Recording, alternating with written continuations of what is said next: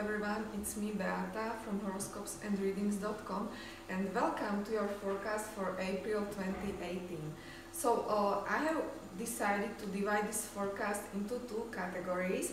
First I will start uh, with you know uh, general events, uh, general astrological events which we can expect in April and then in second part of the video I will talk about uh, full moon and its effect on you personally okay? So let's jump in. First uh, very very good thing uh, which is about to happen is that mercury turns direct on april 15th well um, maybe you have noticed that mercury was retrograde uh, past weeks and uh, for some of us uh, this was not very pleasant time, especially if you are the one who has Mercury retrograde, retrograde in your birth chart, then uh, I believe that you have felt the effect of Mercury being retrograde. Because uh, Mercury is responsible for our speech, for our communication, for our thinking, yes? uh, it's our mind, it's our rational thinking. Mercury is also responsible for our car, for technologies, yes, for you know our day-to-day -day interactions uh, with people. So uh, when Mer Mercury is retrograde, I believe that you had some problems um, in this area. But uh, when Mercury will not be retrograde anymore, there will be, uh, you know, ease in your communication with other people. And uh, you have postponed uh, some actions uh, because of Mercury being retrograde, so uh, from April 15th onwards, you can act on it. Uh, this is especially potent when it comes to you know dealing with some offices, officers, even authorities and overall administration. You know, I have Mercury retrograde in my natal chart, so when Mercury was retrograde and you know, uh, thing is that still is, I was in service with my car two times in one month and this is really not common, so uh, you can see how Mercury retrograde can be manifested also when it comes to your car, okay? So uh, much more easier communication, no more fights with people, no more misunderstandings, right? Because uh, when Mercury turns direct, there's that clarity of the mind, so you really uh, will get each other, right? Uh, you will understand what uh, what other person is about to say and you will really get it so so no misleading no miscommunication no misunderstandings okay so uh, next thing I would like to tell you uh, which is also very important and interesting and is happening in April is that uh, two heaviest uh, planets in our sky Saturn and Pluto are turning retrograde from middle of April until uh, the end of September 2018.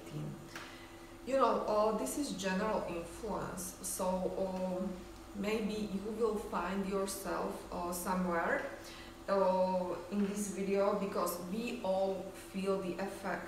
So uh, what happens when Saturn turns retrograde? Um, Saturn is very heavy energy.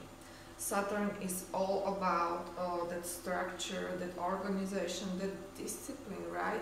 So uh, when Saturn turns retrograde, uh, there are no shortcuts. So whatever you are doing, especially in your work, in your job, or in dealings with authority uh, figures, there is really no shortcut. Otherwise, your shortcut uh, will not turn out for you, okay? So uh, we really have to be responsible in the area where is your Saturn placed natally, right? And this I don't know, because this is very general forecast, but uh, in, uh, in let's say that very general terms, uh, Saturn uh, teaches us to be patient right? It's all about uh, practicing patience um, it is all about steady, sometimes very slow work, but uh, very important work. Because when you have discipline, when you have focus, when you have some long-term goals, uh, then you really can win. And uh, Saturn is all about uh, setting that long-term goals, long-term plans. So uh, this will be lesson for all of us uh, during these uh, five months because we all uh, will be learning to be patient in some area of our life.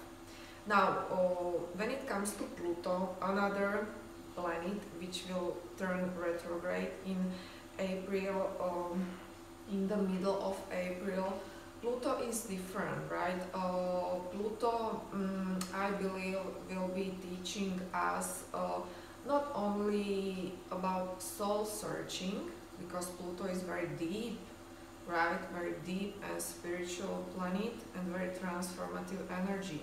But uh, I believe that uh, this time it will not be only about soul searching, but it will also be about uh, searching for your shadow side and incorporating that shadow side into yourself so you can become whole and even more powerful. Remember, uh, Pluto is all about power, control, and money.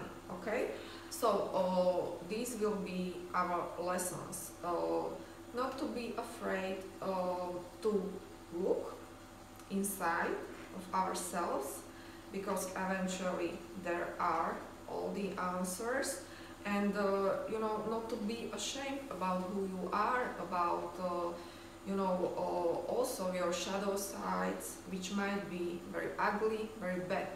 And Pluto teaches us to incorporate these shadow sides into us and turn it into your advantage okay? Because uh, really uh, bad things or even our ugly parts of our personalities are losing its effect only when we are aware of them and we accept them. So uh, this is really way how to take that control we want to have when we have some Pluto transits or even when Pluto is turning retrograde. Okay? Now, another thing uh, which will happen in April is much more light-hearted because Venus enters Gemini and uh, it will happen on April 24th. So, um, zodiac sign of Gemini is uh, very, very, I believe it's very friendly sign, right? Uh, when we have Venus in Gemini, we become very friendly and it is very easy for us uh, to make new friends.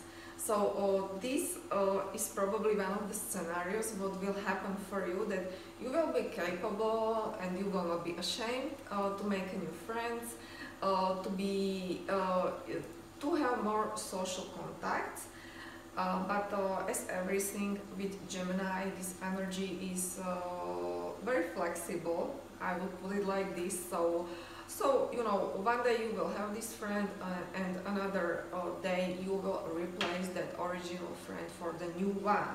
Because this is Gemini energy, right? Uh, it, it goes many ways, I would say. If you are single, here is definitely opportunity for you to go on many dates right? But uh, I don't know how stable uh, this relationship can be, but uh, this really I cannot say because uh, this is very general forecast. So uh, this have this has influence uh, on all of us. But if you are the person who is more introverted, I believe that you will feel the energy of Gemini, Venus in Gemini, and you will not be afraid or ashamed to really make new contacts or even to, to call someone you would like to speak. Uh, so, so this is very good with Gemini. Another thing which will be interesting is uh, a little bit about fashion because uh, when Venus in, in Gemini, uh, we are not sure what to wear, okay? Probably this is more for ladies, but uh, really Venus in Gemini uh, is very unpredictable, is very changeable. So um, maybe you will buy new clothes and next day you will return it uh, to shop right? Because you have just changed your mind okay? So also these things are possible with venus in gemini. Uh, next thing i would like to talk about is full moon. Full moon uh, is uh, each month it is very important astrological events because uh, the more sensitive you are, the more you can feel the effect, okay? Some people cannot sleep or, you know, they are awakened during the night or they wake up very early in the morning, so this is all effect of full moon. Full moon will be in the zodiac sign of Scorpio and will take place on April 29th. So uh, full moon uh, is energy uh, which is all about letting go.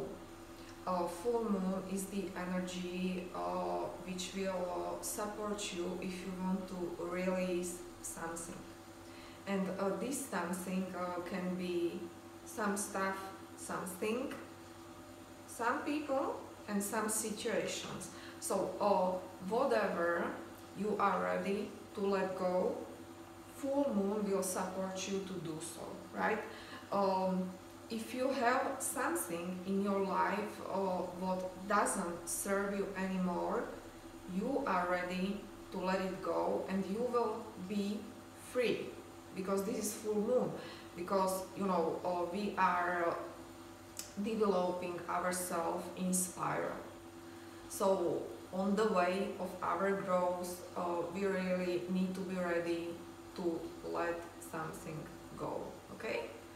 So uh, this is why full moon is important and this is why full moon can serve you in your growth so uh, full moon is not really uh, good for starting new things.